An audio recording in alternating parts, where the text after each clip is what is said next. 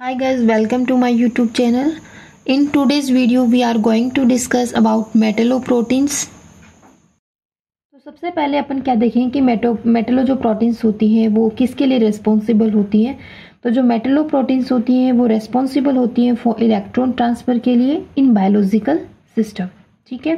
तो वहाँ पे सिर्फ़ ये क्या करेंगे मेटलो प्रोटीन्स इलेक्ट्रॉन ट्रांसफ़र के अंदर अपने वो काम आएँगे। ये कैसे क्लासिफाइड होती हैं वो देखिए तो देखिए, सबसे पहले देखेंगे कि ये तीन तरीके से अपन इसको क्लासिफाइड करेंगे, ठीक है? पहली है लो स्पिन होंगी मींस उनके अंदर जो भी मेटल है वो कैसा होगा? लो स्पिन इन नेचर और दूसरी चीज़ वो कैसे होगा? ऑक्टाहेड्रल इन नेचर ठीक है? सेकंड क्या है? हाई स्पिन होंगी हाई स्पिन और वो कैसे होगा? टेट्राहेड्रल ठीक है? थर्ड है हाई स्पिन और वो है स्यूडो टेट्राहेड्रल ठीक है? अब इसके अंदर एग्जांपल्स कौन से हैं? कौन से इसके अंदर मेटलोप्रोटीन्स आएँगे? लो स्पिन ऑक्टाहेड्रल के अंदर। वो है साइटोक्रोम्स ठीक है? इसके अंदर कौन से आएँगे? जो हाई स्पिन और टेट्राहेड्रल होंगे, वो होंगे rubredoxin and ferredoxin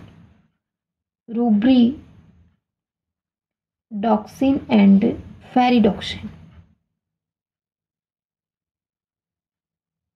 ठीक है? और इसमें कौन से प्रोटीन्स आएँगे? इसमें आएँगे copper blue proteins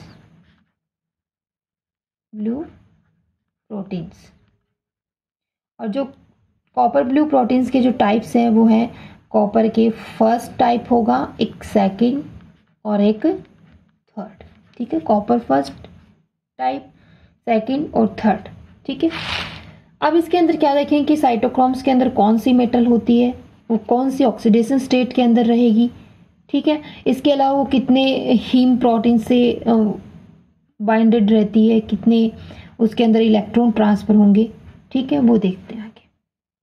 जो अपना पहला टॉपिक हो गया, वो क्या हो गया? साइटोक्रोम्स सबसे पहले साइटोक्रोम्स है क्या? तो साइटोक्रोम्स आर हीम प्रोटीन्स होते हैं, जो क्या करते हैं? चार हीम ग्रुप्स इनके अंदर प्रेजेंट होते हैं।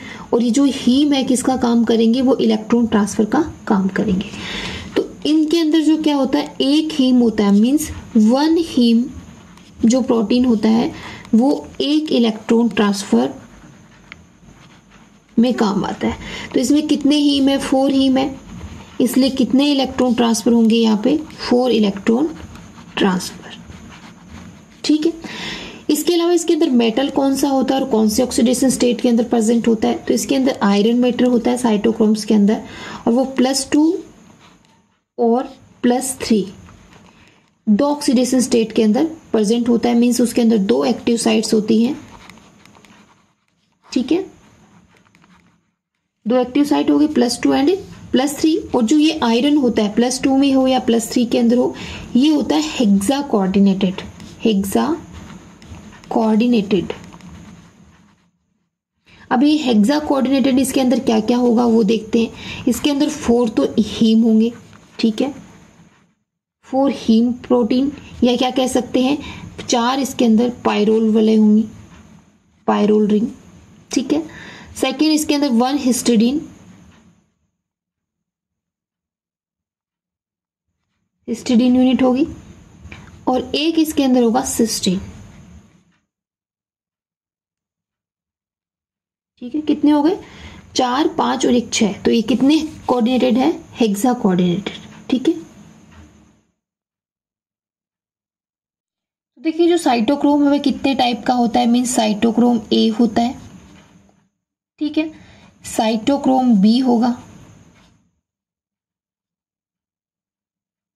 और एक होगा साइटोक्रोम सी और एक होता है साइटोक्रोम फोर फिफ्टी और जो फोर फिफ्टी होता है, इसके अंदर कोई भी हिस्टेडिन यूनिट नहीं होती है।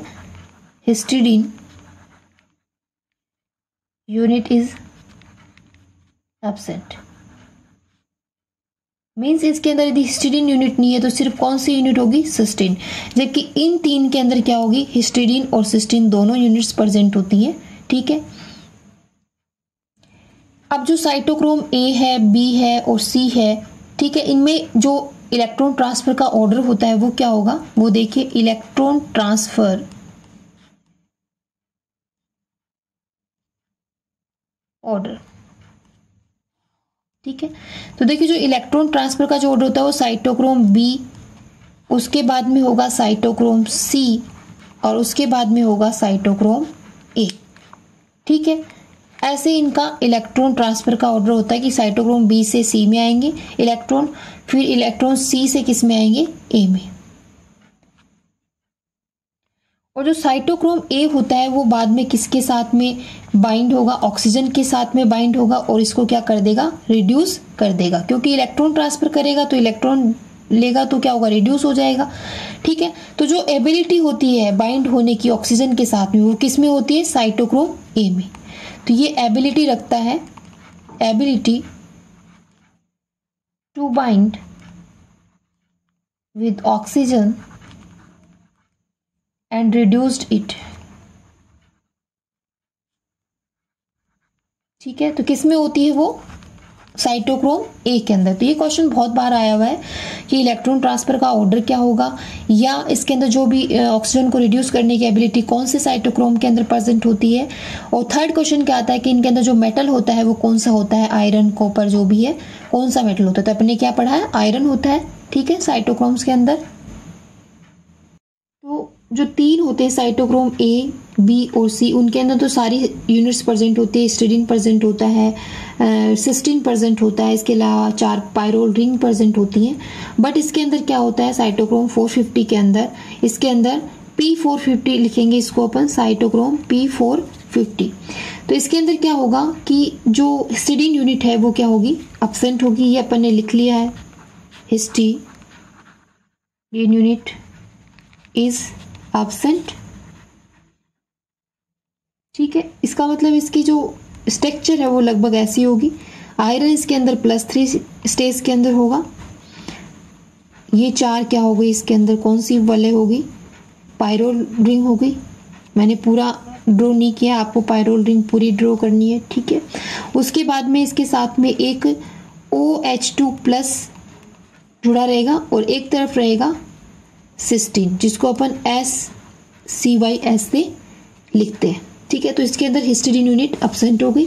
ये काम क्या करता है? इसका फ़ंक्शन क्या है? साइटोक्रोम 450 का फ़ंक्शन क्या है? ये इंपॉर्टेंट है।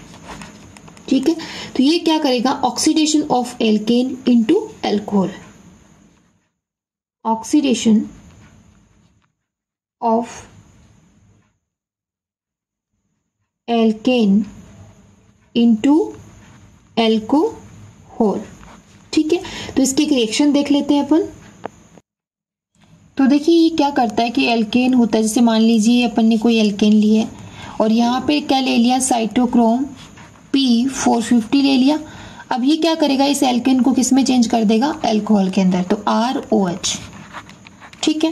तो ये अपना बन जाएगा एल्कोहल तो इसका फ़ंक्शन क्या हो गया? Oxidation of alkane into alcohol ठीक है? अब इसके अंदर पी फोर फिफ्टी क्या है? ये इसकी वेवलेंथ है जिसके ऊपर इसकी पीक आती है, जो साइटोक्रोम पी फोर फिफ्टी की जो पीक आती है, वो क्या है उसकी? फोर फिफ्टी क्या है? वेवलेंथ ओके नेक्स्ट है वो अपना high spin tetrahedral high spin tetrahedral के अंदर कौन आता है? रूब्रिडॉक्सिन एंड फेरिडॉक्सिन ये दोनों होती क्या है? आयरन सल्फ़र प्रोटीन होती है। और ये जो हाई स्पिन टेट्राहेडल क्या है? आयरन सल्फ़र प्रोटीन है। और ये टू इंपॉर्टेंट होती हैं आयर सल्फ़र प्रोटीन्स जिनके दो टाइप होते हैं, वो अपन ने देखे हैं कि अभी रूब्रिडोक्सिन एंड फेरिडोक्सिन ठीक है? अब रूब्रिडेक्शन की भी दो फॉर्म होती है, एक होती है ऑक्सीडाइज्ड फॉर्म ऑक्सीडाइज्ड फॉर्म और सेकंड होती है, वो होती है रिड्यूस्ड फॉर्म ऑक्सीडाइज फॉर्म के अंदर जो आयरन होगा, वो प्लस थ्री ऑक्सीडेशन स्टेट के अंदर होगा और रिड्यूस्ड फॉर्म के अंदर क्या होगा? प्लस टू ऑक्सीडेशन स्टेट के अंदर होगा। अब इनके अंदर आयरन कौन से भी स्टेट के अंदर हो, वो हमेशा क्या रहेगा? हाई स्पिन रहेगा और कैसा रहेगा? टेट्राहाइड्रल रहेगा। मीन्स दोनों की स्ट्रक्चर कैसी होगी? टेट्राहाइड्रल और यहाँ पे भी कैसे कौन सी स्पिन रहेगी इसकी? हाई स्पिन ठीक है? और यहाँ पे भी क्या रहेगा? हाई स्पिन ठीक है?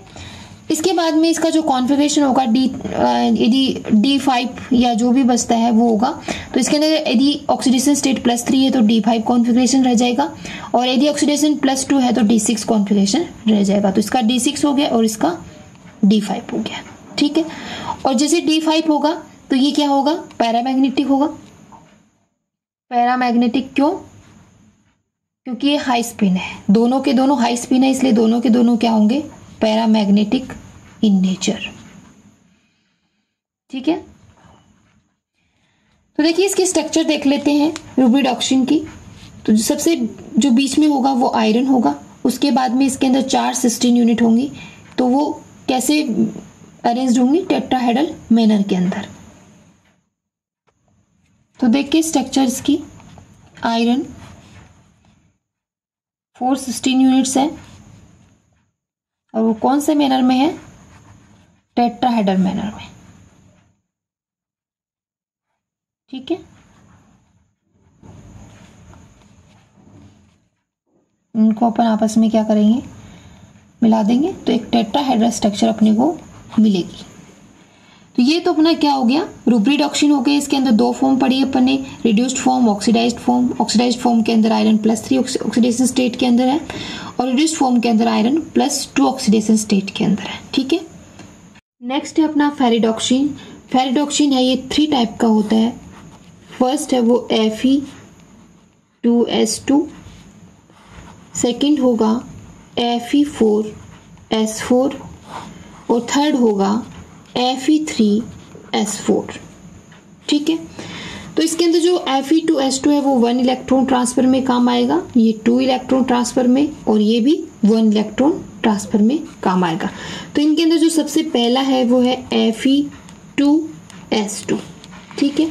तो यहाँ पे देखिए मेटल आइटम कितने हैं? दो हैं, दो आयरन है इसके अंदर। ठीक है? और इसकी स्ट्रक्चर कैसी होगी? वो होगी डिस्टोटेड टेट्राहेड्रल और ये भी क्या होगा? वन इलेक्ट्रॉन ट्रांसफ़र करेगा।